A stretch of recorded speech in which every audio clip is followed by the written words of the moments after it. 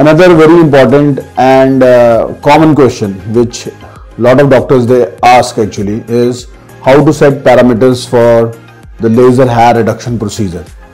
Well, uh, if you are new to the technology, start with lower energy settings.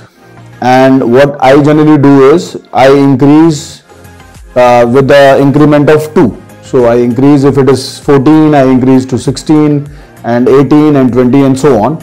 So you start with the lower energy levels, and keep increasing, keep doing the test patches actually. So you place it on the skin, place the probe on the skin, you fire, you look and you ask the patient. So what I, I personally prefer are two things actually, not only the visual appreciation uh, that what I am seeing on the skin, but also the auditory feedback from the patient because it is, uh, it is a voluntary procedure. So it is very important that the patient comfort should be taken care of.